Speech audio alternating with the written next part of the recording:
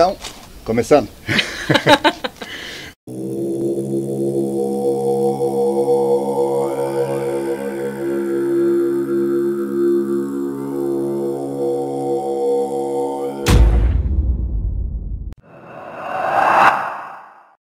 Salve povo da poesia, seja muito bem-vindo a mais um encontro do Palavras, nossos encontros que têm o oferecimento, patrocínio da Doce Letra Ler Presentear, Memorial Atílio Fontana, o jornal e da Rádio NCFM também conta com o apoio cultural da Foco Propaganda e da Aquarela Mídia. E como deu para perceber, deu certo uma vez, e como prometido, cá estamos novamente na Porta Azul.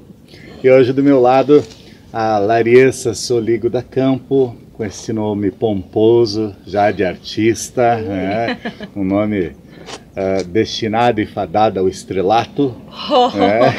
A Larissa, que é presidente, atual presidente da FECAT, Federação Catarinense de Teatro, também é tesoureira da Associação dos Grupos de Teatro aqui de Concórdia, é atriz do, do grupo teatral Carretel, Cia Teatral, e é sócia proprietária do. Pausa dramática, isso é teatro. Larissa, bem-vinda à nossa Porta Azul. É um prazer estar recebendo você aqui. E queria saber como é que começou essa história de teatro na tua vida. Muito obrigada pelo espaço em falar sobre teatro. É, isso é muito importante também. Então, além de fazer teatro, é falar sobre ele, né? Como ele funciona e como trabalho e tal. Eu comecei teatro quando criança ainda por um por uma questão que a gente sempre tem colocado nas escolas que foi uma forma de fugir do bullying. Então, eu me encontrei no teatro e como você me falou, teatro no teatro se pode falar sobre tudo, né? Sobre qualquer coisa, mesmo fazendo graça com aquilo, sempre tem uma forma de fazer pensar. Então foi ali que eu me encontrei, assim. E como profissão foi um pouco mais tarde, na adolescência eu tive uma experiência muito legal, ainda com a formação da Carretel, eu sou da primeira formação, é, que a gente montou um espetáculo chamado Filhos d'Água, que foi numa casa, era dentro de uma casa para poucas pessoas, e depois a gente transformou no espetáculo Arena, né? Então a gente fazia é, no centro e as pessoas ficavam ao redor. E esse espetáculo circulou pelo palco, gira... pelo palco giratório, oh, quem me dera, pelo Encena Catarina, que é um projeto muito bacana de circulação de grupos que o Sesc Santa Catarina tem. E que é uma característica do Sesc Santa Catarina, que isso que é muito legal. E aí a gente circulou e depois daquilo o grupo também, é, muitos componentes foram embora, a gente era em 12 pessoas. E, e ainda as pessoas que estão hoje, nós estamos em cinco componentes, são ainda da formação original. Então, desde 2009, essa é a minha única profissão, né? Eu trabalho com isso. Eu experimento outras coisas, tenho interesse em conhecer outra, outras coisas. Estava é, no Café do Memorial, então, outras experiências, mas a minha base é com o teatro. E suas mais variadas vertentes e possibilidades, né? Que essa é uma coisa muito legal do Oeste, dos grupos locais, é encontrar um outro caminho que não seja só o teatro de grupo como forma de sobrevivência financeira, né? Uhum. já que é um trabalho. Então, é, a gente faz contação de histórias, tem o teatro empresa, que é muito forte na região, e é muito legal ir para um público de fábrica, um público... E você fala sobre coisas que, que não são do teu dia a dia, assim, e, é mesmo, e ainda assim tá levando a sua linguagem, né, tá levando a sua poética para dentro da fábrica. Esse é um trabalho bem, bem legal. Isso é bom, isso é bom demais. Concorde já foi, num, num passado não muito distante, uhum. foi conhecida como a capital catarinense do teatro. A gente é. tinha aqui vários grupos, né, uh, dos mais antigos, aí o Contestado, uhum. o Cronópios, que eu tive a grata satisfação de, de fazer parte. Sim tinha vários. Ele, Força Jovem. Força Jovem, outro grande o grupo. O Piliquinha tem 21 anos já, né? Exato, o Piliquinha tem 21 anos, né? E, e depois ela, o teatro, não que ele morreu, mas ele deu uma esmorecida, né? Parece que deixou juntar uma cinza em cima do braseiro. Uhum. E de repente vem uma galera nova aí com, com a Larissa e outros nomes aqui do Teatro Concórdia assopraram essa cinza. É. e que a gente viu que o brasileiro estava vivo, isso é, é, bom demais. E de lá para cá tem tido muita uh, aceitação, sempre teve aceitação. Sim, né? Essa é a grande verdade, sempre teve é aceitação. Mas o povo voltou a redescobrir o teatro, uhum. o que é o teatro, que ir ao teatro não é ir ao cinema, até no comecinho, quando começou novamente essa efervescência, o pessoal ia no teatro com chimarrão. É, é, é ia com chimarrão, com pipoca, pipoca, achando que era a mesma coisa que o cinema, né? É. E tivemos que reeducar esse novo público. Hoje já está tudo... Tá muito né? legal. Tá muito bom. É, sabe que você falou do, da FECAT, dessa importância do Oeste, né, de Concórdia? É, antes de ser FECAT, era FECATá. Então uhum. era a Federação Catarinense do Teatro Amador. E começou aqui no Oeste. Então, assim, é, grande parte das diretorias da época, do final dos anos 80, começo dos anos 90, saía da região. Era o pessoal daqui. Então, o movimento catarinense de teatro, até tem um livro que foi lançado há pouco tempo, falando dos últimos 15 anos, é, que ainda retrata a colocação do, de Concórdia nessa rota, assim, e que foi foi ficando de lado, assim, foi, não sei se ficando de lado, mas enfim, algumas necessidades, né, fizeram uhum. com que essa luta e essa briga, que é um, chega uma hora que talvez as pessoas tenham uma, deem uma dizer, poxa vida, a gente tá aqui só batendo a cabeça, batendo a cabeça e, e não indo para frente e acaba mesmo dando uma desmotivada. Mas mas isso que tu fala dos públicos, a gente ouve muito assim em outras cidades dizer: não, mas a gente tem um problema enorme com o público. Nossa, as escolas não querem ir pro teatro. Cara, eu falo, meu, a gente não tem isso em Concórdia. As escolas nos recebem de braços abertos. As crianças acho que já estão cansadas de ver nossa cara, assim. Porque a gente tá, tá sempre indo ou com uma contação de histórias ou com uma esquete, falando sobre um assunto, sei lá, da água, um assunto.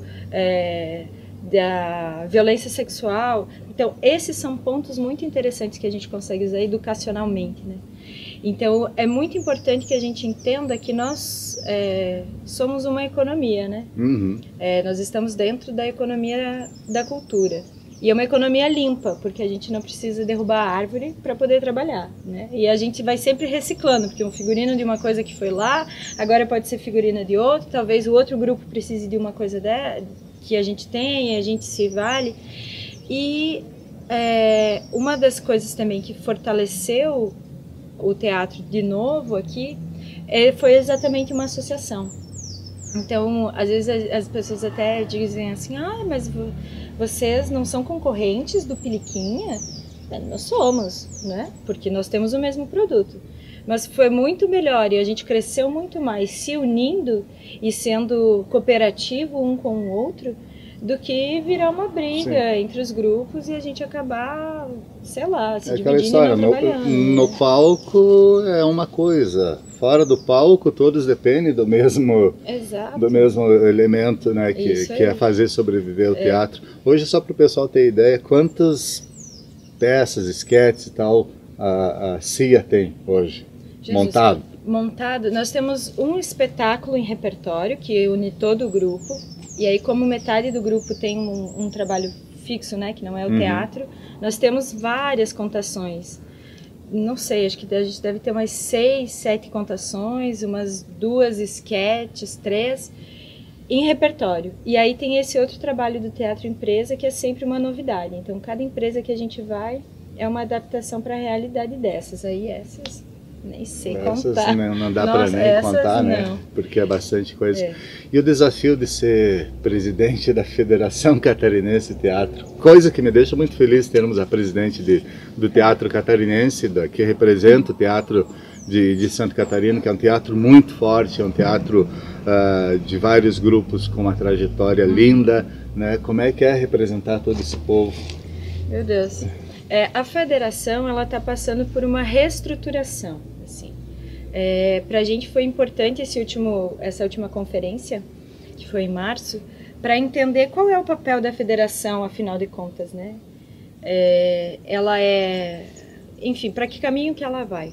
Então a gente está bem nesse processo, assim. Então essa diretoria que está agora, que inclusive a Vânia do Peliquim é a secretária, uhum. então nós temos dois cargos, né, na, em Concórdia, é passar por essa reestruturação de dar um, uma atenção maior às redes de contato, né, e às redes de trabalho dos grupos, porque Santa Catarina não é um estado grande, né? Uhum. Então a gente consegue isso muito bem.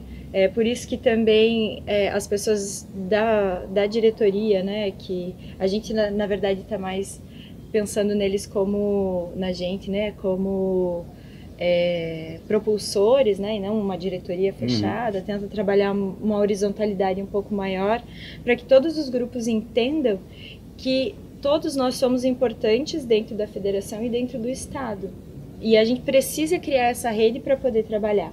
Então, esse pensamento de que as ações da federação são políticas também, né, e de se colocar à frente é, de questões importantes que aconteçam no Estado e no Brasil como representantes desse coletivo, né? E, e, e como que a gente pode batalhar para melhores condições também para o desenvolvimento cultural. É claro que o foco da federação é teatro, né? Mas isso acaba sempre reverberando porque a gente se alia ao pessoal da dança, ao pessoal das artes visuais, porque no fim das contas, por exemplo, o sistema estadual de, de cultura que não existe, uhum é um bem para todos, então é melhor que a gente se ali e discuta essas coisas. Então a gente está passando por esse processo de reavaliação, de chamada também de outros grupos que por, por, pelo meio do caminho foram se afastando, entendendo qual que é o real sentido do Festival Catarinense de Teatro que é organizado pela, pela federação. É entender, entender esse processo também, exatamente pelo tempo de trajetória que ele tem, chegou um ponto, é como uma empresa, né? Chega um ponto que precisa ter essa, essa mudança. Então, essa mudança. é um período né, de responsabilidade, assim, é conseguir ouvir e conseguir colocar em ação coisas que são importantes para o Estado.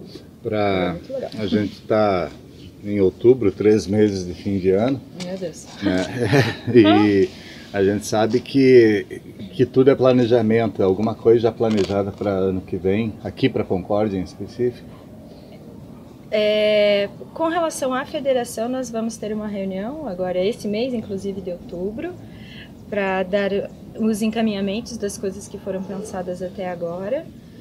É, com relação à associação, a gente, para o ano que vem, tem novidade sim. A gente vai ter um espaço incrível e maravilhoso aqui, aqui. neste lugar lindo e maravilhoso que é o MAF, é, que é um dos grandes parceiros da associação e dos grupos. Nós vamos ter um espaço físico aqui, vão rolar. N coisas. É, é, mas assim, é. basicamente a gente vai estar tá dando um olhar um pouquinho mais próximo às formações e pequenas oficinas. É, a gente pretende que o Tecendo Riso aconteça, né, que é o nosso festival que infelizmente por ano eleitoral esse ano não aconteceu. É, o mundo tem que parar, mas enfim. né? Uma pausa dramática. É, essa é bem dramática, né? Bem dramática. Essa tal de lei eleitoral. É, mas aí veio a mostra Pilitel, né? Dos grupos que fazem parte da associação, que para não deixar passar essa coisa de ter a maratona de teatro, né? Ter uma semana inteira, a gente fez uma mostra do nosso repertório. E aí continuou com os nossos parceiros, né? O MAF e o SESC e a UNC, esse ano, se aproximando desse movimento cultural da cidade, veio para o projeto. Assim, foi muito legal fazer coisas lá em cima. É, até tenho que, que falar aí é, que eu trabalho lá na rádio da UNC né, e tem que dar os parabéns aí para para Cristiane Zuc, que é a atual diretora de campus, também para a reitora Solange Sprando da Silva, que olharam e viram essa necessidade, o quão importante é levar para o espaço acadêmico o teatro, e eu tenho certeza que iniciou no teatro, daqui uns dias vai ter a música lá em cima, vai ter artes plásticas, vai ter poesia, vai... é um começo. Né? E, e, a prova foi que deu muito certo com a, essa mostra do, do, do, Pilitel, né, que aconteceu lá com essa parceria. Quer dizer, isso é, é bom demais saber que, que uh, os educandários eh, do ensino superior uhum. também estejam olhando né, para a cultura, comecem a olhar com outros olhos, que às vezes parece que fica tão afastado né, o ensino superior da cultura, é. né, e as coisas têm que andar juntas, assim com como o, a, a, o Piliquim anda com, com o Carretel, é. É, o Carretel anda com, junto com a dança do Sesc, entra, anda junto com, com o pessoal das artes plásticas, dos alunos que estão vindo aí com o casulo. É, nossa. É, anda junto com poesia. Quer dizer, é uma maravilha que tem que acontecer mesmo para a Concórdia. É, como você falou, é uma cultura que dá um retorno não só uh, mental, mas financeiro mesmo claro, para o município. Tudo que se investe fica no município, né? Desde a confecção de um figurino, uhum. um cenário, é tudo feito na cidade. As pessoas que vêm de fora para participar de algum festival investem na cidade, uhum. quer dizer, está na hora de olharem com mais atenção e carinho, não ficar só nos planos e projetos governamentais. né? A eleição acabou de passar e a gente espera que olhem com mais carinho, sim, né? para para nossa cultura em todas as suas formas. Com certeza. Larissa, uma das coisas que a gente tem sempre falado é que a acabou a bateria. Percebeu, né? Que fez plec e a gente sumiu. Mais uma pausa dramática. É, mais uma pausa dramática. Estamos falando de teatro, né? Larissa, para a gente encerrar, uh, pessoal quer entrar em contato com o grupo, tem página em rede social, como é que faz? Tem, a Carretel tem página no Facebook chamada Carretel Companhia Teatral, você encontra a gente. É, a Associação de Teatro de Concórdia também tem uma fanpage, que é a Associação dos Grupos de Teatro de Concórdia. É, a FECAT também tem a sua página. E pelo Facebook é a forma mais fácil, assim, né? Ou se não, lá... venha visitar o MAF, é... você encontra essa menina. Muito seguido, ela está aqui. Ah, vamos encerrar com poesia? Afinal de contas, né, estamos ah, no Nossas Palavras e sempre tem que ter poesia. Eu convido você para que venha visitar o MAF, quando a Carretel, quando o Peliquinha, quando os grupos teatro de Concórdia estiverem se apresentando no teatro, na praça, no memorial, em todos os lugares, compareçam, né? Uma cultura que a maioria das vezes apresentações, acredite ou não, são de graça. A grande Nossa, maioria, é né? São Meu de Deus. graça.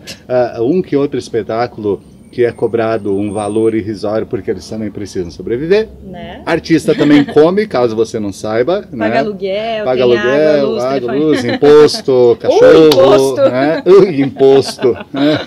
Então participe né, da, da, dos encontros aí do teatro, participe dos encontros do Palavras e a gente volta daqui uns dias com mais uma porta azul aqui nesse canto maravilhoso do MAF eu estou devendo umas imagens do MAF, logo logo a gente vai mostrar para você que não conhece essa estrutura belíssima do memorial, como da casa do lado, que logo logo vai ser inaugurada. Para encerrar, estamos no mês de outubro e eu estou aí com os poemas do Ney do Clós, do seu livro Outubro. E separei para Larissa Soligo da Campo, com este nome pomposo. Né? E para você que nos acompanha, o poema chamado Odeio Tarefas, e esse poema do Ney fala assim: Odeio tarefas. Qualquer uma serve para estragar o dia. Passa de conta que não existo, e quando menos esperas, lá estou eu a sussurrar no ouvido o perfume de um novo estufar de velas. Sou mais do que um boa praça. Casei com um novo dia, conceitos atirei pela janela e embora eles voltem para regular minha vida, confio neste incêndio que me queima a goela. Meio do Claus. Abraço para você. Obrigado e até um próximo Porta Azul.